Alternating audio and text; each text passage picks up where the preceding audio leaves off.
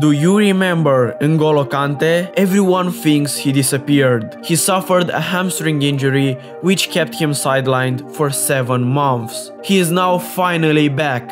He played a friendly match with Chelsea's under-21s. Even Mason Mount was there to support him. We just can't wait to see the nicest man playing football again.